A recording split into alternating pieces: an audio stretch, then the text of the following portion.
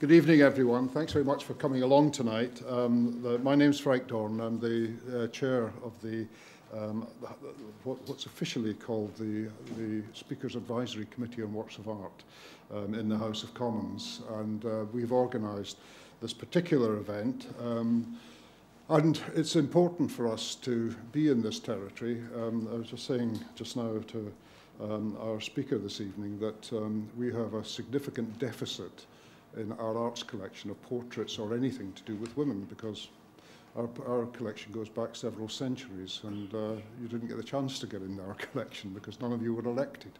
And uh, thankfully that's changed.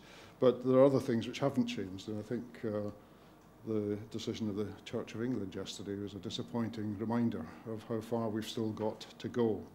Anyway, the, the talk is, this talk is a part of the ongoing Parliament and Votes for Women series of talks, uh, displays and events uh, which have been initiated by the House of Commons Works of Art Committee and uh, there'll be more as we move on, particularly next year with the centenary of the death of en Emily Wilding Davison, Davison, which is an important event.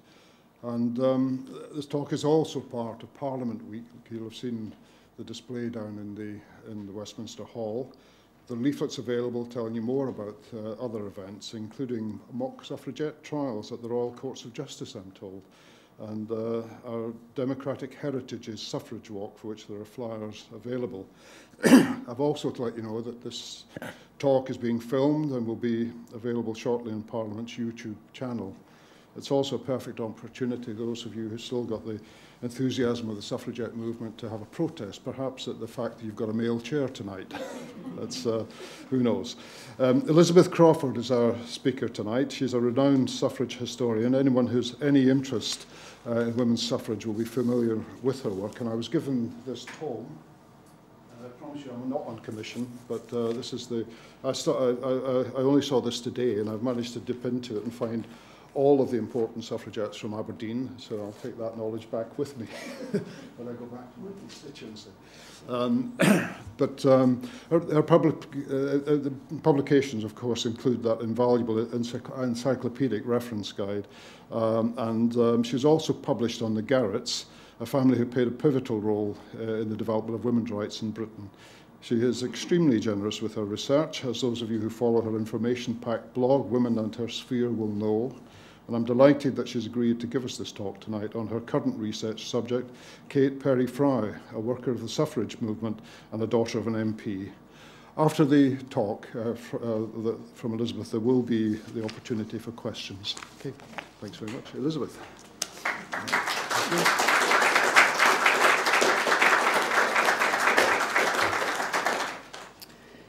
Well, it's a great pleasure to be here, and I'm very pleased that so many of you have come out on a wet night.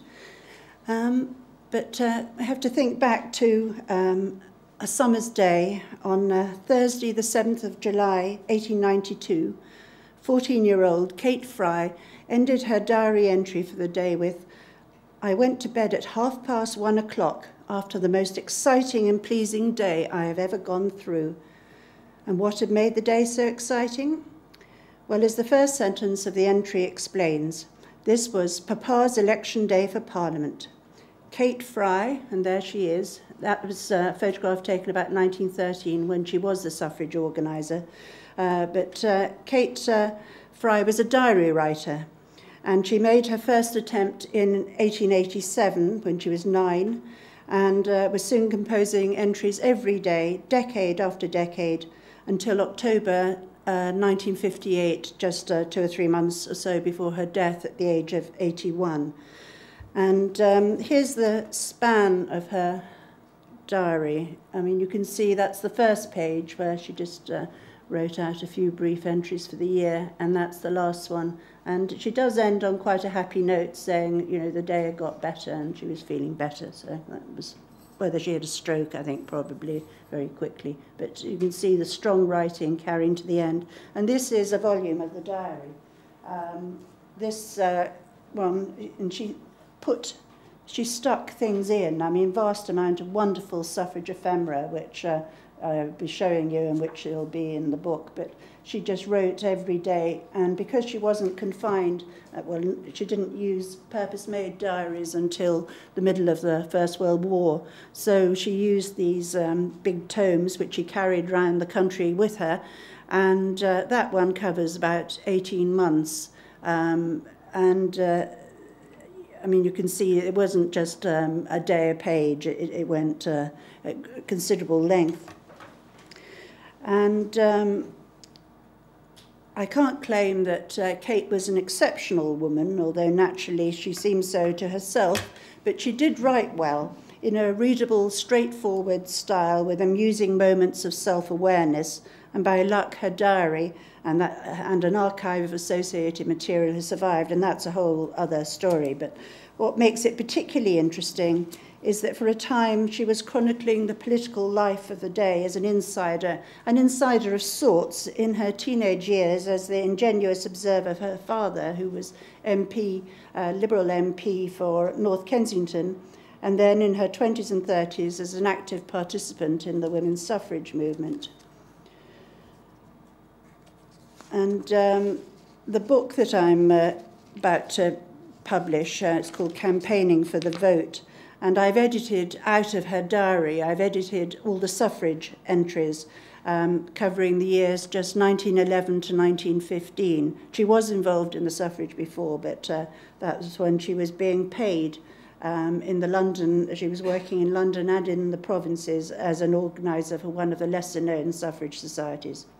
And as far as I know, no other diary um, survives. It gives us such a clear view of an organiser's daily life as she travelled round the Edwardian shires, attempting to interest uh, the populace in the cause of women's suffrage. Um, for Kate Fry had the benefit of immersion in politics from an early age, for on that day in July uh, 1892, Kate's father, Frederick Frye, was standing in the general election as the progressive Liberal candidate for North Kensington. And she preserved a copy of his election address. There it is. And she preserved that in a scrapbook. And uh, besides um, the items that I've highlighted that were in his address, Um, it, he also called for one man, one vote, and no man more than one. And for three weeks before the election, Kate had been noting in her diary details of the canvassing that was dominating the Frye household, such as on the 17th of June, did not have any lessons, but folded circulars all the morning. And it's the kind of thing, uh, I'm sure these details that uh, the, the families of MPs uh, be familiar with. And with her mother and sister, she attended many of Frederick Fry's election meetings, and she could be a, a critical observer, because at one she wrote, It was crammed and was a splendid meeting. Mr. Robson was in the chair, Mr. Routledge spoke splendidly, Daddy spoke very badly. of another, in the evening, we all went to Papa's biggest meeting held at the Labrook Hall. It was packed, hundreds standing. Dr. Clifford spoke, Dr. Horn, Mr. Routledge, Mr. Roberts, besides Papa and Mr. Robson, who took the chair, and a black man.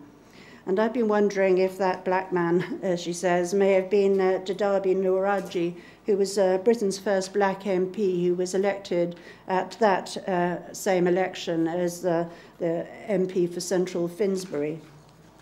But she obviously thought it was uh, worth noting his, uh, his presence, even though she didn't know his name. And during the election campaign, Kate was sometimes called upon to do rather more than stuff envelopes or decorate the platform. For on July the 4th, in the evening, Mother Agnes, that was her sister, and I uh, were sent to try and convert a man who did not like Home Rule for Ireland, though he did, said he liked Mr. Frye in nearly everything else. He wouldn't be converted, so we left him. and then on election day, Kate described how there were heaps of banners and Papa's bills about, and equally many of Mr. Thompson Sharp's, and that was the Conservative uh, candidate. He's making a dreadful struggle for the seat. Mother Agnes and I went to the central committee room, and Papa went with us in a carriage round to all the polling stations. And never in all my life saw such a sight. We were cheered, and little children ran after the carriage shouting, Vote for Frye, They had Papa's photograph and yellow bills stuck in their caps and all over them. for orange or its shades of yellow, then as now was the Liberal colour. And Kate mentions that she and Agnes had special dresses for election day of a sort of yellowish fawn trimmed with black lace and worry. And she wore an orange Liberal rosette. And here it is. It was preserved in the pages of the diary saying, uh, I wore uh, on general election Thursday, July the 7th. And there it is still, as she wore it pinned to her, her dress. And it's survived. I mean, that's 125, 120 years it's uh, survived in uh, the pages of her diary. And Kate then recounts how in the evening, decked out in Liberal colours, she and her sister were given a ringside view of uh, the declaration. They were taken to Barker's store in Kensington High Street, where the housekeeper led them right up through the shop, up to the showrooms in the front, where they opened the windows and put sheets on a sort of parapet for us to sit on, where we were almost opposite the town hall. The cheering, shouting, and groans were wonderful and went on all the time with great vigour until at last people yelled and hurrahed and shouted in one steady roar, calling, Frye, Frye, Frye. We all nearly had a fit, and we knew it was all right. And so began Frederick Frye's uh, uh, career as a Liberal MP. He'd earned uh, the Liberal candidature for the relatively new seat of Kensington North by way of membership of first uh, the Metropolitan Board of Works he was a vestryman for Kensington, and then of his successor, the London County Council. And on the LCC, he'd been a member of the Progressives. And in the new parliament, in which the Liberals and their Irish allies uh, um, had a majority over the Conservatives and Liberal Unionists, he was one of the group of London radical Liberal members that included Keir Hardie, John Burns, and John Benn, the grandfather of Tony. Uh, at that time, social reform for the working class was not uh, quite yet identical with the claims of Labour with a small l, though it wouldn't be long before it would be so. But Frye was never to join the Labour Party. He was rather a small-time uh, and ultimately unsuccessful capitalist.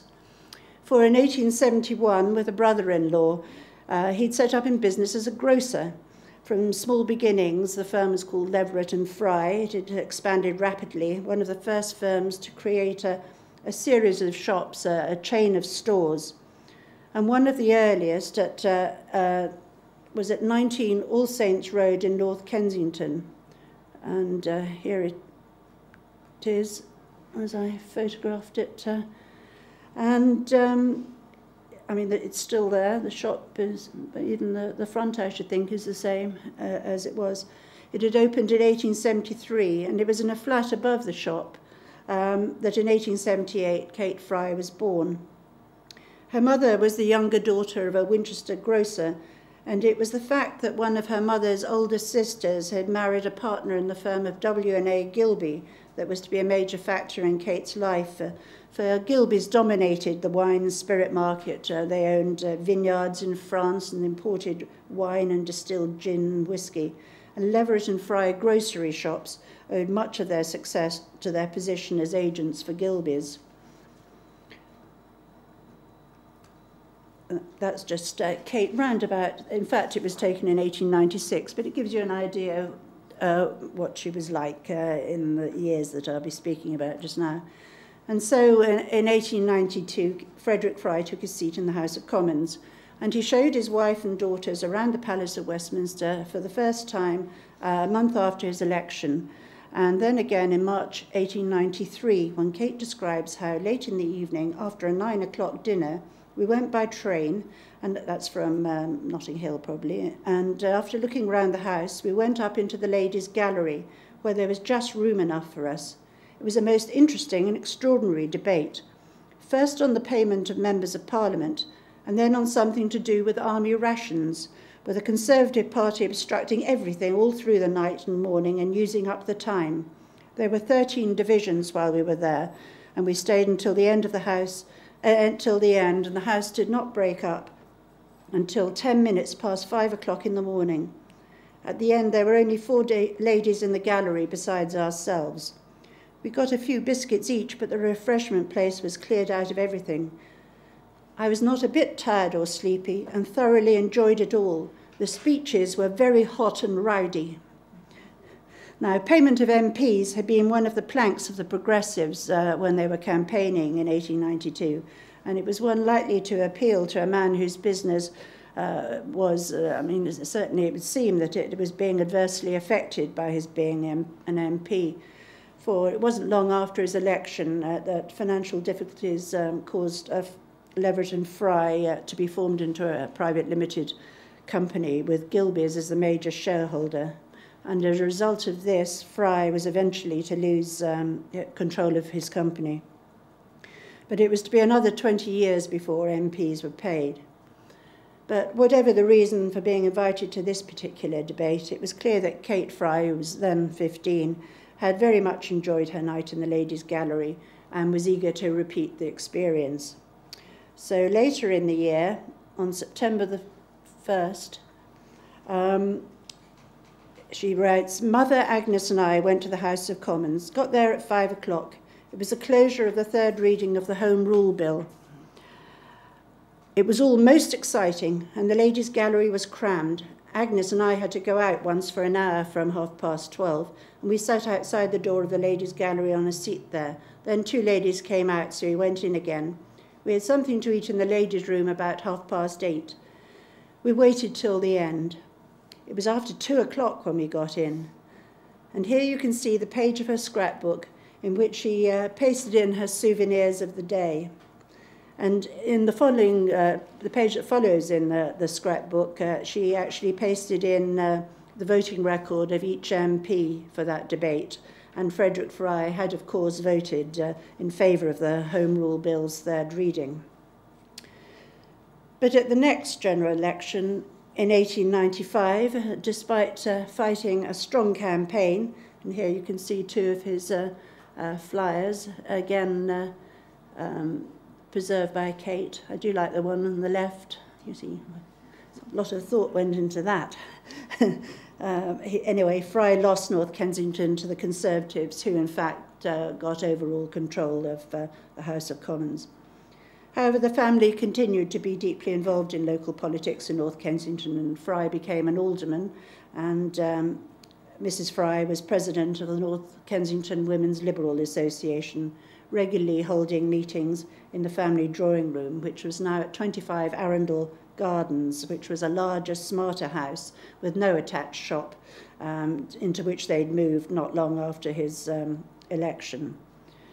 And on occasion, Kate went with her mother um, to some of these meetings. And she wrote of this one on Friday, the 20th of March, 1896. Uh, um, she attended uh, a North Kensington Women's Liberal Association drawing room meeting to hear Mrs. Henry Fawcett lecture on women's suffrage. Mother took the chair. Mrs. Fawcett speaks well, but she did not seem to go down very well at the meeting. She is very much a conservative, except on this one subject, which, with, with her way of looking at it, isn't very liberal either. Only the lady householders to have votes. You see, that won't quite do for us. If they have it at all, they ought to have them as the men do. Altogether, I didn't care for the evening. By 1896, I mean this time, the women's suffrage campaign had already been running for 30 years. Its aim was to achieve for uh, women the same right to a parliamentary vote as that enjoyed by men. And throughout the 19, the second half of the 19th century, campaigners had lobbied steadily, if unsuccessfully, using all the constitutional methods at their disposal and forming a succession of societies which developed on an ad hoc basis, which were dynamic, uh, interactive, and reactive. And most of the members of these societies were committed in one way or another to the Liberal Party. The Frye family's politics, uh, as Kate's show, diary shows, was at the radical end of the Liberal spectrum, and Mrs. Fawcett's was at the Conservative. At the time of this uh, 1896 uh, meeting, the two liberal extremes, as exemplified in the views of Kate Frye and Mrs. Fawcett, were represented by two different suffrage societies, which had formed after a split in uh, 1888, which in part uh, reflected the fissure in the Liberal Party over Home Rule. In 1897, however, they agreed to harness their resources in order to work together more effectively, and they formed um, an umbrella organisation called the National Union of Women's Suffrage Societies, which I'll refer to, uh, uh, such a mouthful, uh, by the acronym of NUWSS. And over the next uh, several years, uh, though Kate makes no more mention of women's suffrage, she became increasingly caught up in her devotion to the theatre. For in 1902, she decided to place herself on the other side of the footlights and she trained at the Ben Greet Academy um, as another would-be actress, Sybil Thorndike, was to do the following year. But Kate wasn't actually in the Thorndike League, although she did get some employment with touring companies and travelled around uh, England, Ireland and Scotland. And during her time on tour, she became engaged to a fellow actor, John Collins. It was to be a very long engagement. Acting didn't pay, and after three years or so, Kate more or less abandoned the stage and began to spend more time at home. And it was while living at home, I mean, they were still living in Arundel Gardens then, that in early 1906 she canvassed energetically at the general election for North Kensington's successful Liberal candidate H.Y. Stanger. And during the campaign, she met and became friendly with two uh, co-workers uh, who were sisters, Alexandra and Gladys Wright, who rather unusually for Kate's uh, circle were graduates. And uh, on the 26th of April 1906, during a social even, evening given by her mother for uh, the North Kensington Women's Liberal Association, Kate noted that there was a little discussion of what took place in the house last night, the disgraceful disturbance kicked up by some women during the women's suffrage debate. Mrs. Stanger had a letter from her husband on the matter, and the Mrs. Wright, who came as our guest, spoke. It really was awfully comical. No one showed any sense of humour. This is the first mention by Kate of what was to become uh, constant during the next few years the activities of the militant suffragettes, members of the Women's Social and Political Union formed in 1903 by Mrs. Emmeline Pankhurst. In this instance, members of the WSPU sitting in the ladies' gallery had made a vociferous uh, protest when a resolution which was brought by Keir Hardie uh, in favour of women's suffrage was being talked out. But by um, the end of 1906, although she was interested in the subject, but probably not convinced uh, by WSPU's militant actions, Kate had joined the Central Society for Women's Suffrage under the umbrella of the NUWSS, and was a, the society was a descendant of the one for which Mrs. Fawcett had spoken to her in 1896. And in fact, her, Kate's um, joining the society was all part of the, the general um, interest in suffrage that had been really inspired by the WSPU, but not everybody wanted to be militant. And uh, the Her Society, the Central Society, by 1907 was renamed the London Society for Women's Suffrage, just to get that clear, because I'll refer to it as that afterwards. Um, and uh, as the women's suffrage campaign became more public, Kate's interest uh, grew, and in February 1907, she took part in the first public procession staged by the NU WSS through the muddy, wintry streets of London, and it became known as the Mud March for obvious reasons. And she wrote, We were an imposing spectacle, all with badges, each, each section under its own banner. I felt like a martyr of old and walked proudly along. It did seem an extraordinary walk, and it took some time as we went very slowly, but we went in one long, unbroken procession. And these are flowers that, I mean, they're very scarce. I don't think I've ever seen them before. I mean, they've just got thrown away in the mud, I should imagine, but she preserved them in her diary. So.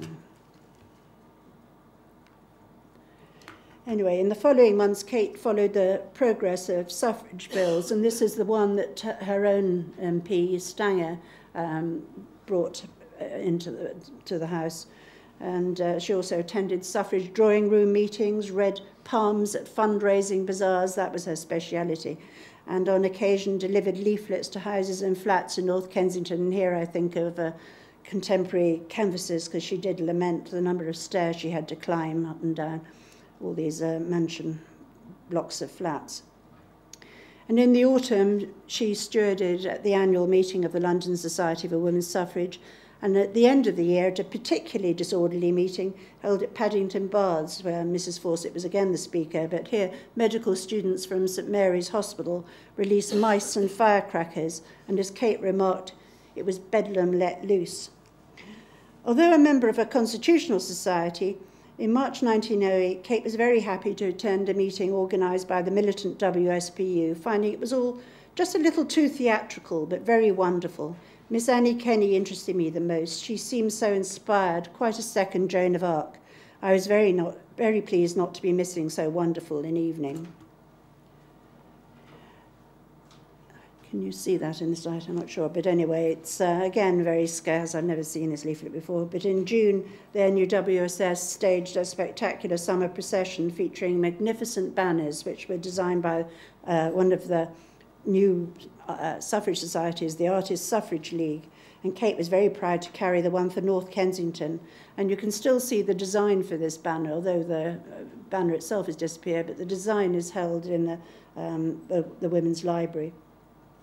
And after the long march uh, from the embankment, she described how I got in the Albert Hall about 5.15 and they started the meeting just as I sank down. I must own to feeling completely done when I left the banner. I got cramp in both feet at once and felt a thousand, but I dashed into the hall, found the seat in my box with the Wrights, and Alexandra, like an angel, got me a cup of tea. She, Gladys, and another girl looked most awfully charming in cap and gown. Uh, the graduates were always remarked in processions. The following year, Kate uh, was naturally interested in the new suffrage society that had been formed, the Actresses Franchise League, and uh, which represented uh, women in the theatrical profession. And at her first AFL meeting in March 1909, she was introduced to the actress Eva Moore, of whom she wrote, She didn't seem to like me much, but I'm used to treating all suffrage women as merely women, not little queens.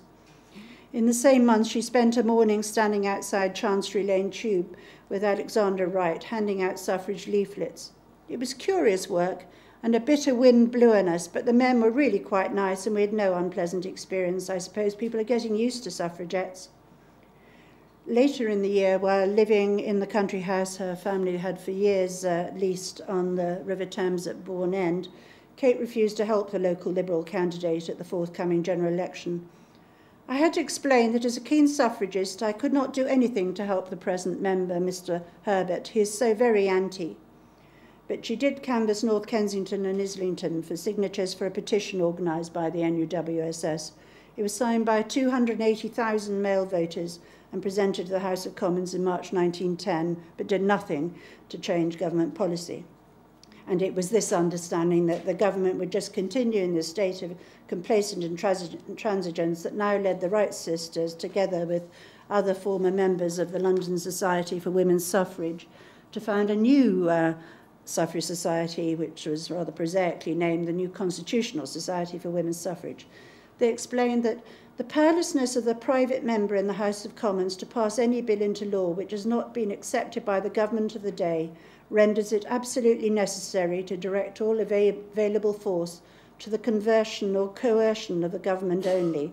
And for this reason, the NCS has adopted what is known as the anti-government policy. And now, the NCS was in fact carrying out the election policy of the WSPU, whose motto was keep the liberal out, but eschewing the WSPU's other weapon, militancy.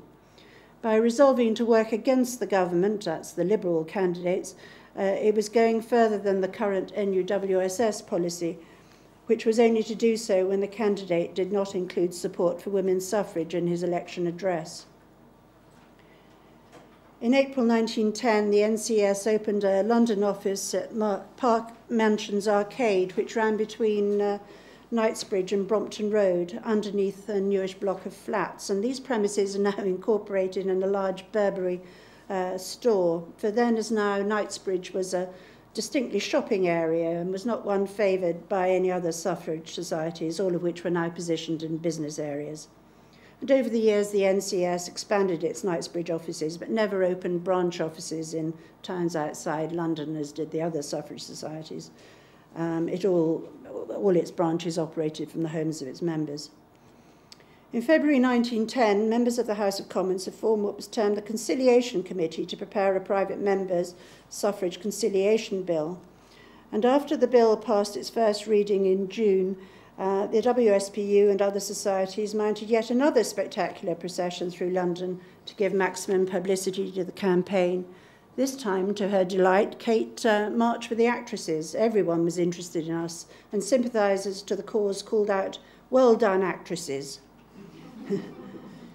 but in November, the hopes of the suffrage campaigners were dashed when, at a meeting in Caxton Hall, members of the WSPU and sympathisers heard the news that with the two houses locked in the battle for supremacy, Parliament was to be dissolved.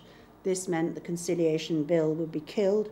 In retaliation, the WSPU immediately ended its truce and prepared to resume militant tactics. In groups of 10, a deputation of 300 women set out from Caxton Hall for Parliament and they encountered violence in Parliament Square that, such as they'd never uh, previously come across. And this day has gone down in suffrage history as Black Friday. Kate was there. This is the flyer that she preserved in her diary. And uh, it's, uh, you can see how roughly uh, printed. Again, I've never seen uh, one of those. And she wrote a very long, very detailed description of the day, uh, uh, again, as an observer rather than an uh, active participant. But she describes how I first reached the wall of the moat at the angle so I could see the door plainly, and Mrs. Pankhurst and the elderly lady, that was Elizabeth Garrett Anderson, sister of Millicent Fawcett. Then I saw policemen breaking up the little standards held by a group of women. I saw deputations pass along and ugly rushes, and ever the crowd grew. It was a most horrible experience. I've rarely been in anything more unpleasant. It was ghastly, and the loud laughter and hideous remarks of the men, so-called gentlemen, even of the correctly attired top-hatted kind, was truly awful. Her lengthy description was not written uh, with hindsight or with an eye to posterity and can be taken as a true enough account of uh, the proceedings. As a result of what she witnessed, Kate uh, resigned from the NUWS Uh, S and joined the WSPU, but she did remain a sympathiser rather than an activist. And in the campaign leading up to the second general election of uh, that year, that's 1910, two elections 1910, volunteered to work for the NCS with her friends, the Wright sisters. And all, at the same time as all this was going on, the Fry family finances were now so parlous um, the, Frye had lost control of uh, the company and they were deeply in debt. And it was necessary to give up living in London and retreat to Bourne End. and a very, very early entry in Kate's 1911 diary made the position clear. Monday, the 2nd of January. It was a real Black Monday. We discussed and discussed our affairs for hours, and we seemed in a more terrible way than I thought. A most hapless muddle, debts, debts, debts, and only about £400 a year for us all to live on. hardly seems possible. Fry had resigned as a director of uh, Leverett and Fry and was making desperate attempts to raise money. And Kate trailed round theatrical agencies and theatres seeking stage work, but all to no avail. But then, in early March, was very much relieved to be offered uh, paid employment by the new Constitutional Society for Women's Suffrage. And from now until mid-1915, she was a paid organiser for the society. She didn't have any training, uh, but as we've seen, she was accustomed to canvassing at elections, and her experience of theatrical touring had prepared her for the itinerant aspect of the new employment and the lodgings. And the salary of £2 a week was the rate that was paid to organisers from other suffrage societies. So in March uh, 1911, Kate sent, was sent off to Norfolk.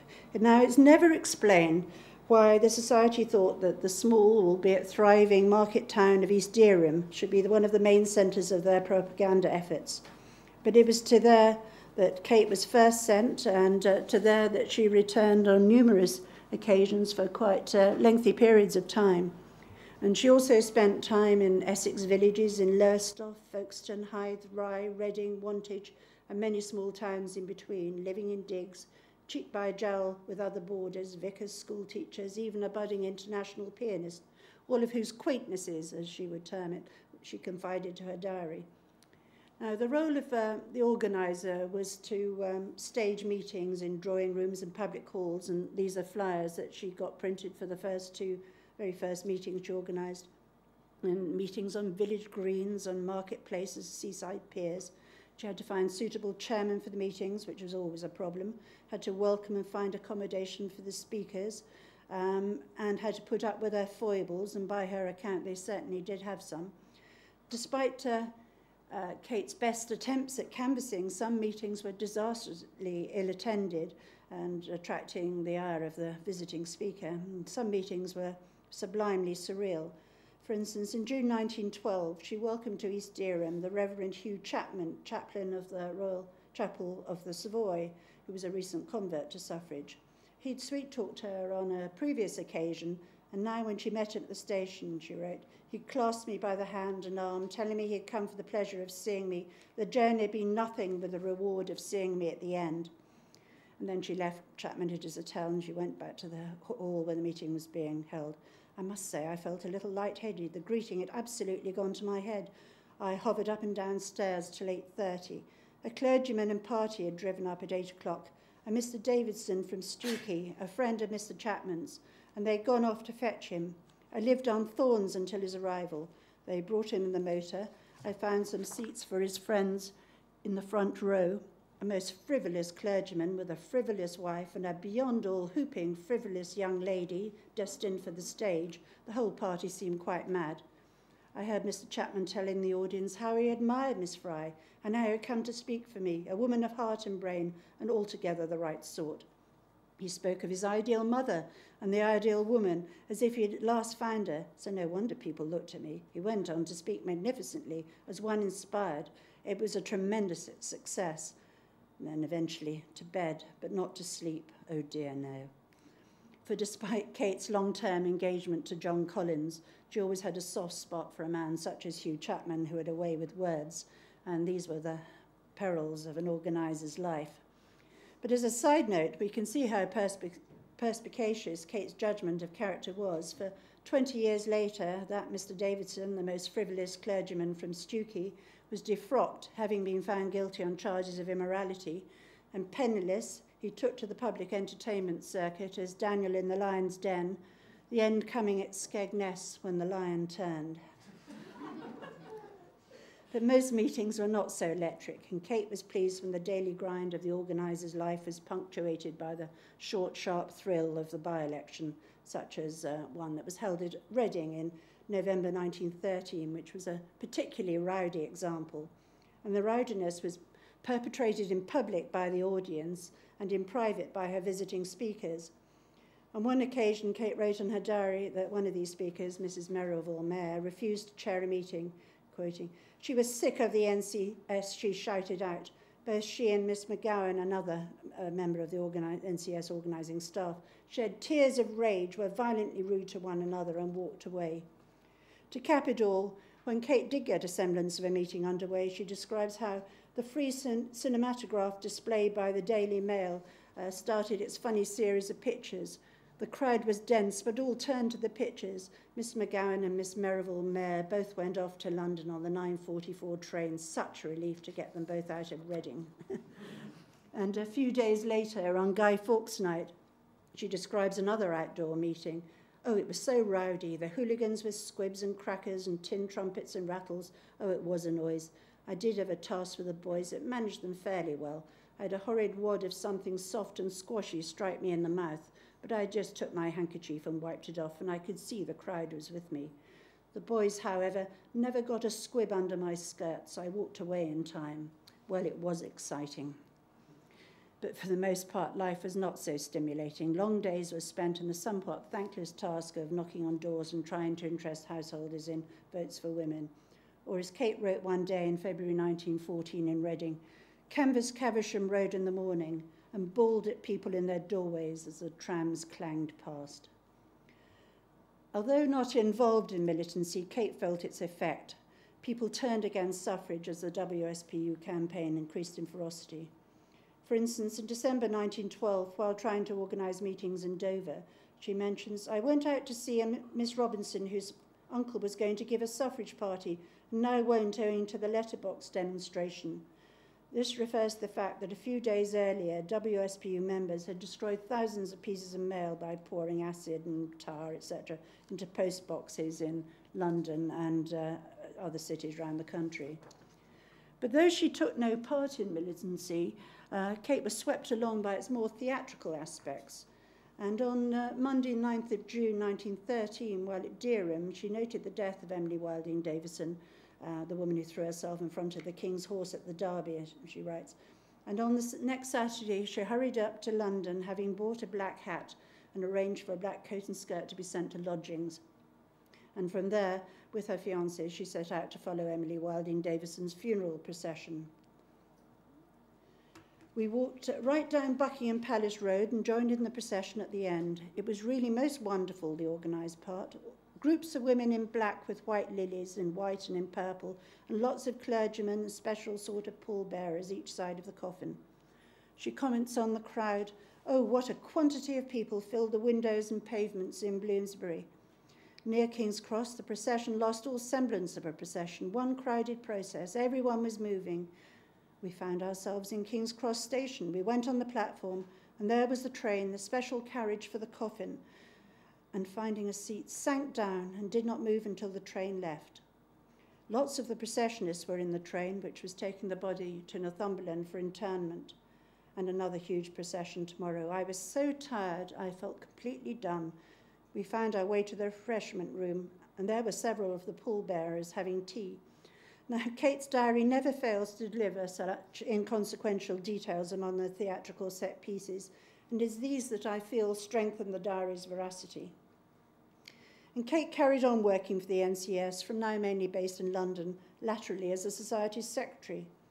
The need for paid employment to become more urgent than ever as um, the Fryes uh, were, family, uh, were finally forced to give up their Bourne End home and sell off most of their possessions and move into rented rooms. And in early 1940, not long after this, Frederick Frye died. Um, the outbreak of war seems, from the evidence of her diary, to have taken Kate unawares, as it presumably did most of the population, still caught up in the suffrage struggle, and she was uh, canvassing all around uh, London at the time. It's only around the 25th of July that she begins to mention what she terms European complications and barely uh, three weeks later, the NCS, like other suffrage societies, had put its campaigning on hold and turned its attention to the war effort. Kate's role was as an organiser of a workroom set up in the uh, Knightsbridge office to give employment to dressmakers put out of work as the demand for women's clothing went into a dramatic, albeit temporary, decline. The thinking was, of course, if they didn't have employment, these poor women, they might end up on the streets, and this is, they were doing their bit. At this time, she was living in one rented room in Pimlico and was well placed to describe wartime London. Um, for instance, went down beside the LCC dock station and saw the Belgian refugee camp in Hudson's depository, uh, furniture depository, that is. Poor souls, they do look miserable. Boy Scouts on guard and ladies and officials in and out. Lots of company of soldiers about everywhere, bands playing, bayonets gleaming. Finally, the prospect of uh, uh, life in a rented room, combined with the fact that John, now an officer, was for once reasonably well paid and uh, he looked rather handsome in khaki, decided Kate that after, and it was Kate who decided that after an 11 year engagement they should now marry. And the wedding took place in uh, January 1915 on her 37th birthday. John then went back to his army uh, training and Kate carried on working in the NCS office. And in July 1915 came her final active participation in the suffrage movement. On a wet uh, Saturday in July, she took part in the Right to Work March organised by Mrs. Pankhurst at Lloyd George's behest to encourage women to uh, enter munition factories. But soon afterwards, Kate succumbed to an unexplained illness and resigned from the NCS. However, she did maintain an interest in suffrage, and on the 7th of February 1918 wrote in her diary, a day of excitement. It felt like someone's birthday, a personal affair, but in truth it was the birthday of a great new era. Saw the Daily Telegraph for the announcement of the passing into law of um, the franchise bill and votes for women. And in fact, the NCS had played a very active part in the negotiations that resulted in women over 30 being included in the franchise. Uh, and, but then uh, its work uh, done, it disbanded, and Kate was present at, it, at its final meeting. But much to her regret, she had no immediate opportunity to use this hard won vote, for when uh, the general election was called, she was living in a house close to Bourne End, owned by a, Gilbey Aunt, and here the local MP, who was a Conservative, backed by the Lord, Lloyd George Bonar Law um, coupon, um, he wasn't opposed, so there was no contest. However, she was delighted by the writing of Asquith and, as she says, his wretched set of followers. When she did come to cast her first vote, it was at a general election in 1924. It was back in North Kensington, where she and John were renting a flat. And she wrote, Polling day. Election seems somehow in my blood. I don't feel at all comfortable while they are going on. At 1.30, off to the Free Library in Ladbroke Grove to vote for Mr Percy Gates. Much relish in voting, but little in recording a vote for Mr Gates. It is a straight fight this year, Conservative and Labour, and Gates was the Conservative candidate.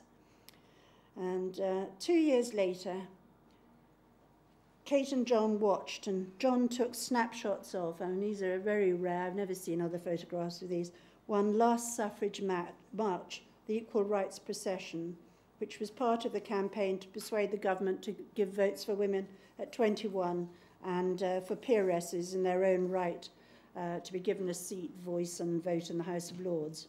And Kate wrote, went by bus to Marble Arch and walked to Hyde Park Corner saw the procession of women for equal franchise rights and to the various meetings and groups, heard Mrs. Pankhurst, and she was quite delightful. I mean, she's so, even just shortly before her death, Mrs. Pankhurst is so idiosyncratic. I mean, you pick her out, there she is standing.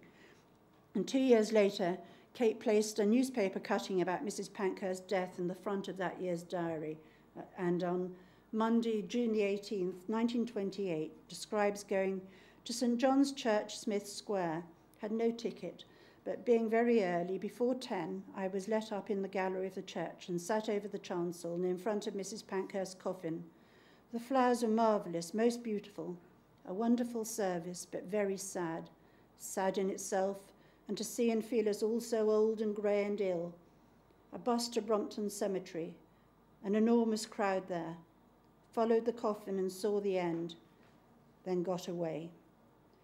And Kate made no mention two weeks later of the passing on the 2nd of July 1928 of the Representation of the People Equal Franchise Act that finally gave votes to women on the same terms as men. A chapter in her life had closed. Okay.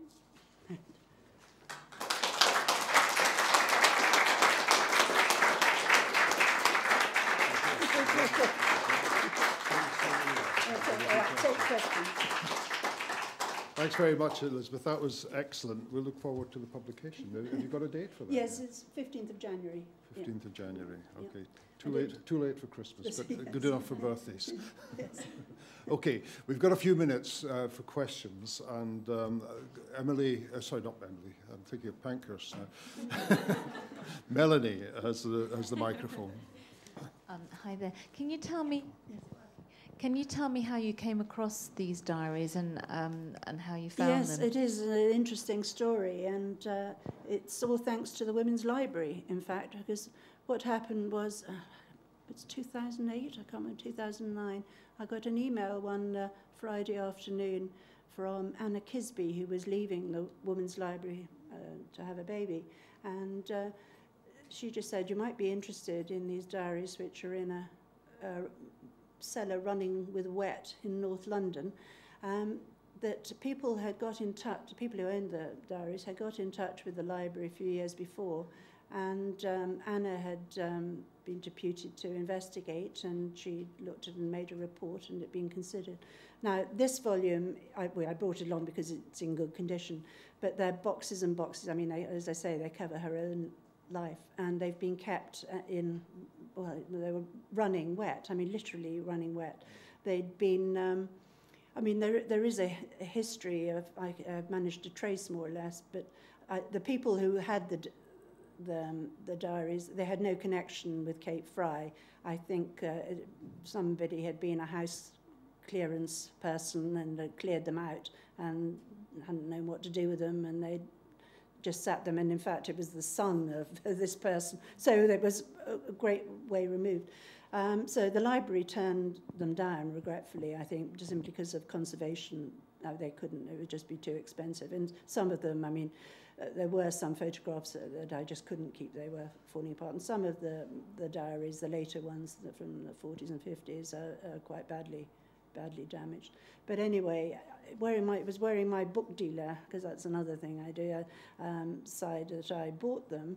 But uh, then um, once I'd got them home and uh, set them all out and dried them all round, not terribly expertly, I'm sure a conservationist would have probably had kittens, but um, I then started reading them and got hooked and just realized how valuable all this information was. I, I mean, I don't know, as I say, of any other diary that covers all this material in such uh, such detail. I mean, usually suffrage diaries deal with prison and all the high points, but this is the day-to-day life, and uh, you see what it's like here, organising in Folkestone. yeah. Okay, thanks. Any, any other questions? Come on, don't be shy. Did Kate have children?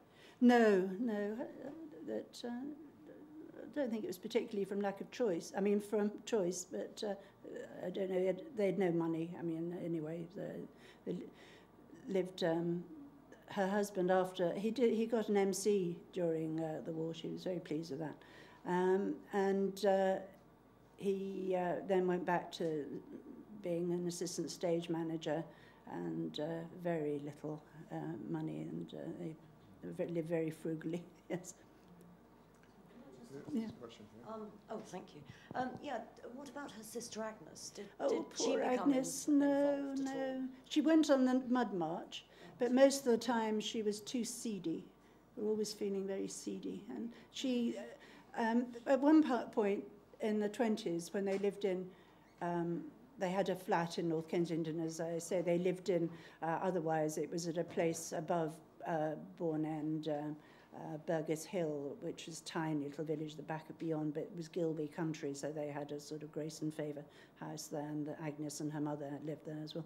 Um, but they had a flat in North Kensington, and their doctor for a while was Dr. Ethel Bentham, um, LCC um, MP as well, um, and uh, Labour. Uh, and it was quite interesting because Kate occasionally gives verbatim her ports, you know, obviously it's pull yourself together a lot of the time. Um, but Agnes, she, she, she was very worried because Dr. Bentham had said that she couldn't hold out any hope for Agnes unless she had some occupation. I mean, once, uh, once it became obvious she wasn't going to get married and the family money had all gone, she just gave up really and she, she died in the 30s. She just sort of drifted into death as far as I can tell without anything particular. Anyway. yes, but it's, it's an interesting story in itself, really. Yeah. It's beginning to sound as though there's a film in there. Any, anyone else want to?